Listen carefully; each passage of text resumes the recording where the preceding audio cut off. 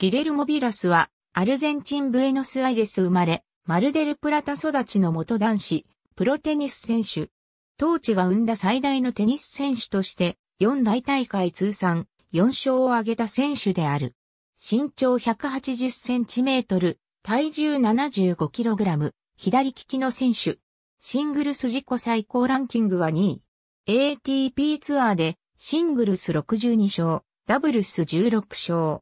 オープン化以降二人目となる通算900勝。またクレーコートで600勝以上を挙げている。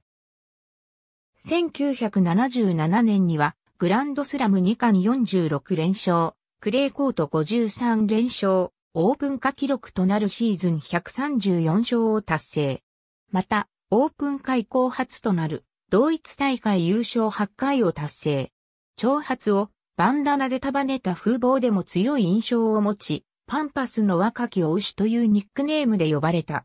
彼はジミー・コナーズと同い年であり、ビョルンボルグやジョン・マッケンローなども同世代のライバル選手だった。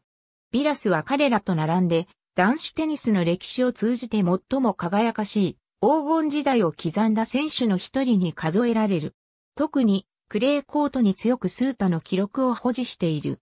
1970年から男子テニス国別対抗戦、デビスカップのアルゼンチン代表選手となる。1973年に地元ブエノスアイレスのトーナメントでツアー初優勝。1975年の全仏オープンで4大大会の男子シングルス決勝に初進出を果たしたが、当時19歳のビョルンボルグに2から6、3から6、4から6のストレートで敗れて準優勝になる。1977年からビラスのキャリアは最盛期に入り、出場33大会のうち17大会に優勝した。この年は全豪オープンが1月開催と12月開催の2回行われたが、ビラスは年頭の1月開催の大会でロスコータナーに敗れて準優勝になっている。その後、全仏オープンと全米オープンで4大大会年間2冠を獲得し、全仏では2年ぶり2度目の決勝進出で初優勝を飾る。それから1978年全仏オープンで2年連続3度目の決勝に進出したが、ボルグに1から6、1から6、3から6のストレートで敗れ、全仏に連覇はならなかった。ビラスは全豪オープンで1978年と1979年に大会2連覇を達成した。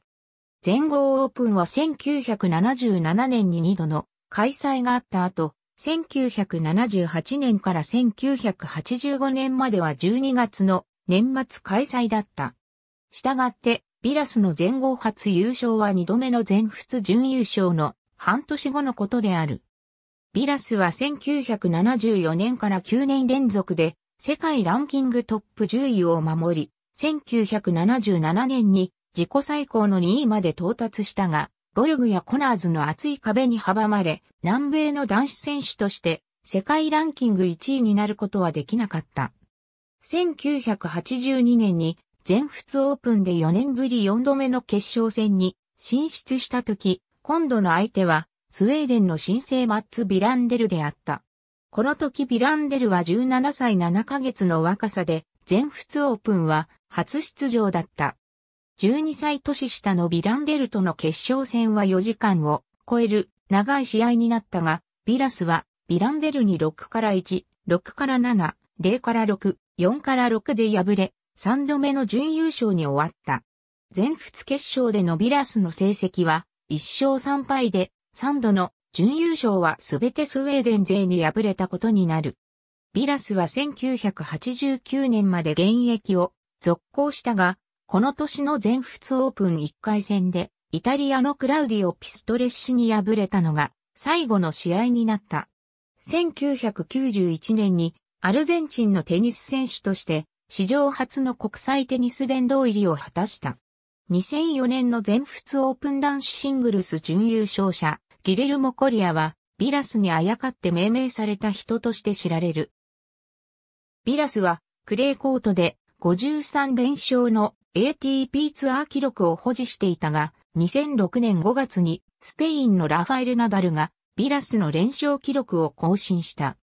W イコール優勝、F イコール準優勝、SF イコールベスト4、QF イコールベスト8、R イコール回戦敗退、RR イコールラウン敗退、Q イコール予選回戦敗退、LQ イコール予選敗退、A イコール大会不参加、P イコール開催延期。WG イコールデビス、Z イコールデビス地域ゾーン、PO イコールデビス、G イコールオリンピック金メダル、S イコールオリンピック銀メダル、SF、B イコールオリンピック銅メダル、NMS イコールマスターズシリーズから降格、NH イコール開催なし。ありがとうございます。